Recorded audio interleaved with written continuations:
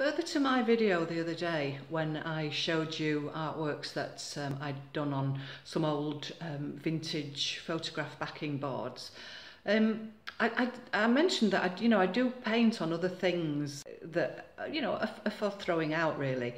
We've um, we've got all sorts of old magazines and newspapers and um, you know boxes of, of old paperwork and stuff that are in boxes, and um, I've, I've got these. Um, there, there's this one book that's got lots of photographs of.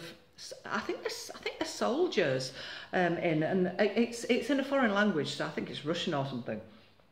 So you can't understand what it's about anyway. But it's got these brilliant old photographs in that are probably from the 1930s or 40s.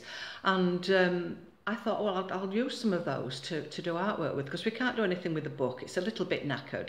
And, um, you know, it, it's for throw out. So um, I took some of these pictures of these guys, these soldiers. And what I've done, I've sort of illustrated over the top of them and given them a little bit of a, a creepy lowbrow look.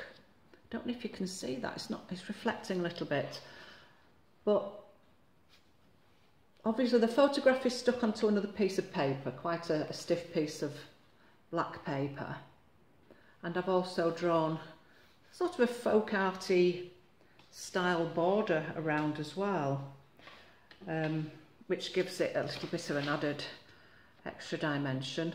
This one obviously I've gone right onto the border with the illustration of the guy. that, that jacket and tie is a little bit Hank Williams, isn't it? He just needs a big cowboy hat. Um, that one looks like Tee out of Salvage Hunters. Don't know if anybody watches that. um, and again, Posca pen, my usual Posca pen. I couldn't, I couldn't do art without Posca pens. I use them all the time in everything. Um, Okay, that's a very stern looking soldier chap. Hello, how are you?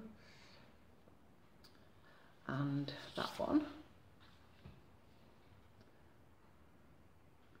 Obviously these, this, this illustration all over the top is just in pen.